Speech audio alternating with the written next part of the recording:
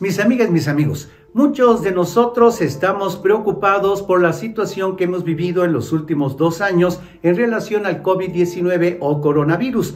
Pero fíjense ustedes que si analizamos la historia, descubriremos que en la humanidad ha habido en varias ocasiones diferentes epidemias, eh, también por supuesto pandemias. E, este en particular, la del coronavirus, es muy especial porque debido a la gran comunicación que existe actualmente en el mundo, pues es más fácil que se contagien unas personas que viven en África con unas personas que vivan en alguna población eh, remota del estado de Chiapas, por ejemplo. Eh, pero durante la humanidad, durante su historia, han existido diferentes epidemias y pandemias.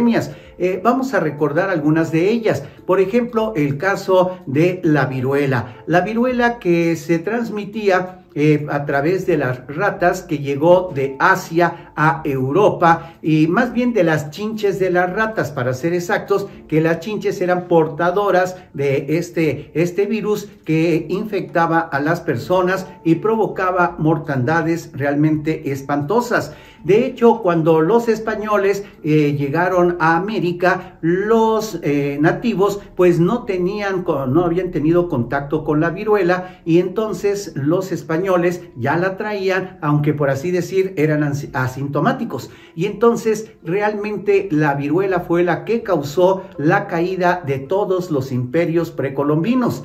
¿Por qué resultó esto así? Porque los españoles llegaban, tenían contacto con las personas, les transmitían el virus de la viruela, como no tenían anticuerpos los indígenas, pues fácilmente se enfermaban y recordemos, por ejemplo, que el famoso rey Cuitláhuac eh, pues murió de viruela. Tenochtitlan cayó porque todos estaban enfermos de viruela. En fin, esto ha sucedido en muchas ocasiones.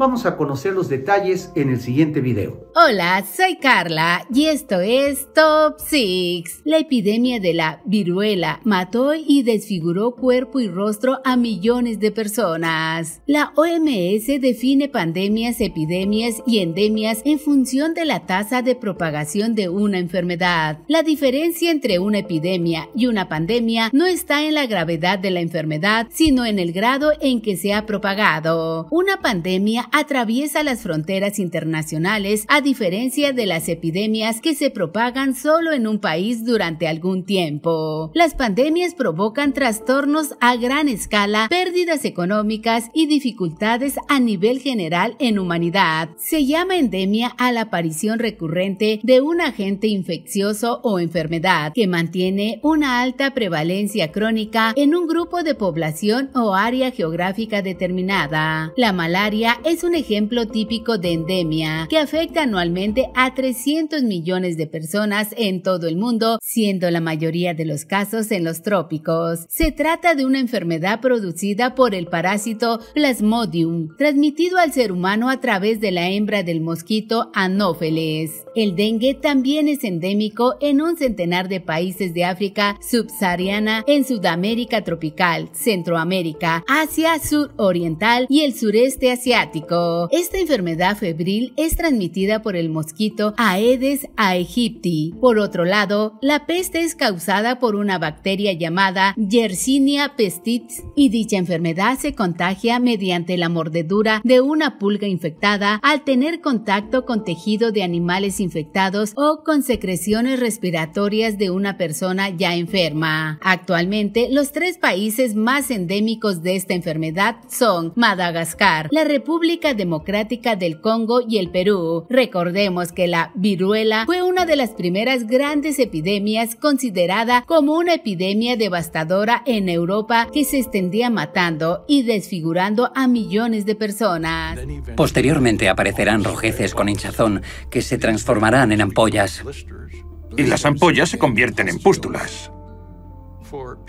De hecho, los españoles lograron conquistar a las culturas americanas porque contagiaron a los indígenas de viruela, lo que provocó que murieran más del 90% de los nativos. Fue una enfermedad infecciosa grave, contagiosa y con un alto riesgo de muerte, causada por el virus variola virus. El último caso de contagio natural de este virus se diagnosticó en octubre de 1977 y en 1980 la Organización Mundial de la Salud certificó la erradicación de la enfermedad en todo el planeta. Sus principales características eran una elevada tasa de mortalidad, especialmente en bebés, mientras que en aquellos que sobrevivían les dejaban cicatrices por cara y cuerpo desfigurándolos, además, en algunos casos provocaban ceguera. Otro problema que aqueja a la humanidad actualmente es el SIDA, como consecuencia del virus de inmunodeficiencia humana alrededor del mundo, su presencia se encuentra en la mayor parte de los países del planeta, pero las tasas de prevalencia varían de país en país. Y bien, ¿qué piensas de todos estos microorganismos que provocan enfermedades y muertes en los seres humanos? Déjanoslo saber en los comentarios. Si fue de tu agrado este video, dale me gusta, compártelo con tus amigos y suscríbete a este canal. Yo soy Carla y nos vemos en el siguiente video. So